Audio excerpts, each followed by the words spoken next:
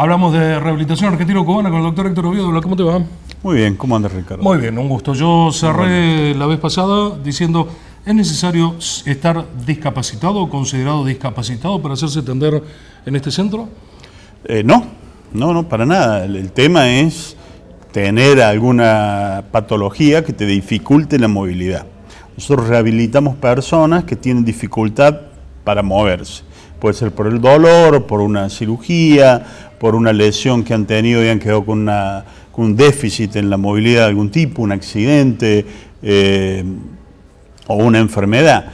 Hay veces que ciertas enfermedades que van a terminar dando un estado de discapacidad comienzan de manera leve, entonces uno tiene eh, alteraciones mínimas de la movilidad que también pueden ser tratadas aquí, como, como es una de las patas base de los tratamientos de este tipo de patología, que puede ser una enfermedad degenerativa del sistema osteomioarticular, como la artritis, la artrosis, o del sistema nervioso, como el Parkinson, la esclerosis múltiple, en fin, la, gama es muy amplia. Eh, estoy armando todos los, los, videos históricos, los que me quedaron, porque la familia de, Francisco nunca me quiso dar la historia vieja del programa, pero eh, y estuve revisando justo desde 1986 a la fecha, eh, justamente que hablamos en su momento mucho de lesiones deportivas, eh, y hablábamos del otro extremo, claro, quizás no había tantos accidentes como, como suceden ahora. Las lesiones deportivas, los, los quienes hacen alto rendimiento, es, es, justo el lugar para ellos, ¿no?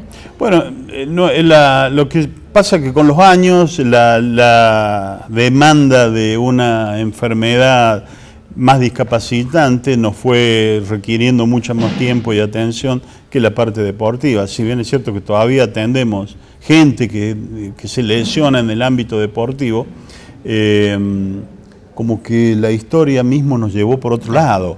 Pero sigue viniendo gente que practica algún tipo de deporte, que se ha lesionado, no hace falta, como decimos, estar discapacitado. Puedes tener una esguince, una esguince rodilla, de tobillo, y querés rehabilitarte acá, lo puede hacer perfectamente, eso no hay problema. Próximo programa seguimos hablando. Gracias. Dale, gusto. El doctor Héctor Oviedo, del Centro Argentino Cubano de Rehabilitación.